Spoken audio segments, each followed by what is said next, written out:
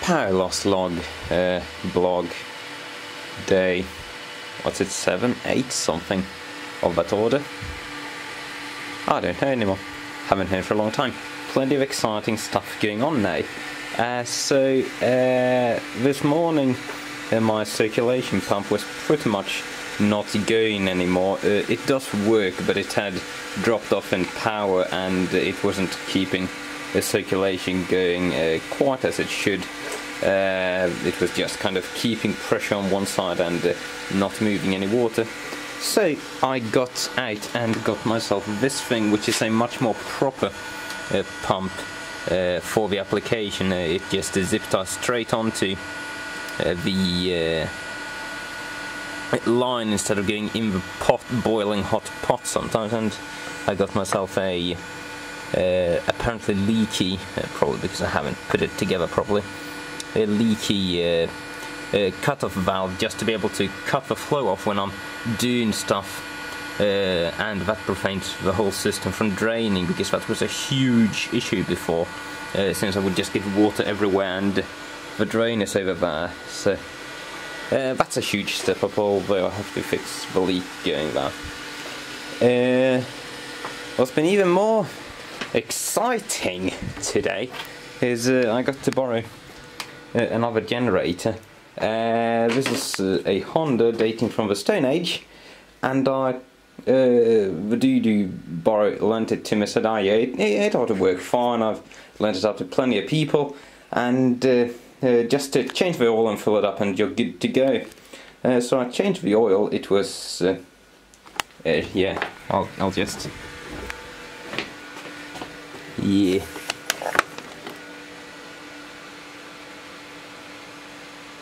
This thing is specified for 10W30, it hasn't been happy running on that. Uh, so the motor is fine. It's a tiny Honda 360 watt thing. However, uh, when powering it up, it ran beautifully until I put a load on it and uh, it wouldn't go. I connected up my uh, great big battery charger or rather loud power supply this thing, and it, the transformer made a horrible loud noise, and the rubs dropped on the motor, so I figured out maybe it's just this thing is too heavy duty, it's powered by a 500 VA transformer, but really it shouldn't be that big of an issue because it draws like 20 watts unloaded, which is nothing. And then I shut the multimeter into the outlet, and the generator in this body thing is putting at 600 volts. So the uh, control circuit has failed.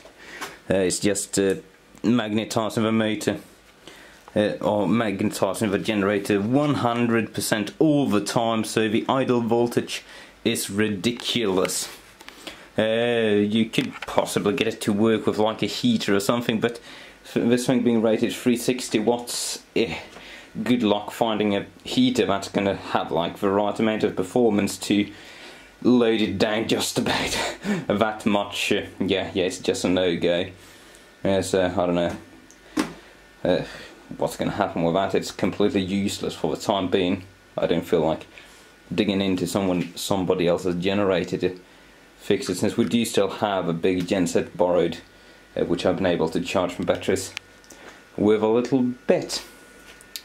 So aside from that exciting thing nothing much has really changed except we've further optimized the use of our stove here for heating. So I got the bright idea of shoving a fan to blow into this hot cavern like this is a bread baking oven uh, because it's got a fair amount of uh, surface area going since it's ribbed all over for well my pleasure this time round and uh, this actually works quite well the air coming out is uh, very warm to the touch. It feels like a uh, one kilowatt space heater.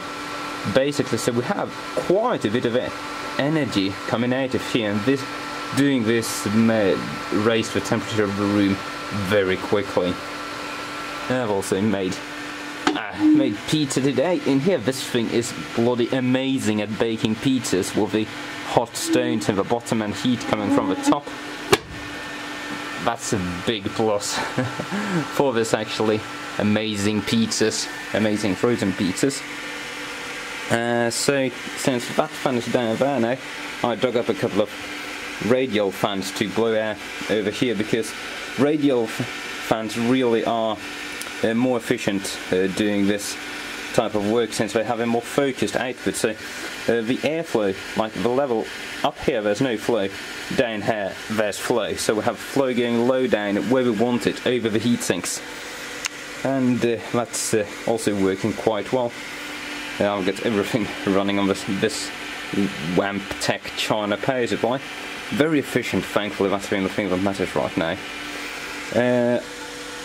I have uh, actually installed a bunch of aluminium foil under the middle part of the, the pot to improve the thermal uh, conductivity down to uh, the uh, plate it's sitting on. I'm not sure how well it's working. It's uh, my fire is not regulated well enough, but I don't think we've lifted it up any. Or have we? Oh yeah. Actually, the last piece is actually lifting the whole thing up and I can see we have somewhat low temperature there, so I'm probably going to remove a couple of sheets of aluminium foil just to drop it down so we have good connect, uh, good contact with the metal around as well. But uh, that is probably going to make a fair amount of difference since the plate is 400 C and the bottom of the pot is like 45. So we have a couple hundred C drop in between there. Not too good. Ah, yeah. That's really starting to get comfortable. Uh, topside temperature right now uh, was about 13 C last I checked and uh, we should be where's the IR gun? There's the IR gun? We should be getting a reasonable uh, temperature going. Yeah 30 C in the uh, ceiling there. It's going to get colder over there but we have a 20 C floor heating pretty much everywhere so I'm sleeping roughly somewhere around here above a chimney and yeah it's not too bad as long as I can keep the generator gassed up, which I think we haven't managed uh, today because it just shut down. Uh, we're going to be good for a while. Since I'm running a 12 volt electric system, I actually have the potential to waste a bit of energy. I can charge my laptop off of this and charge the batteries on the generator tomorrow. Uh, since I'm not forced to use a 48 volt solar system, which is, well, not getting a lot of sun, since you can see it's pitch black outside. Uh, but yeah, that's about it, I guess. Yeah, nothing more going on. Maybe we'll get powered back tomorrow, else uh, I guess you'll get another update.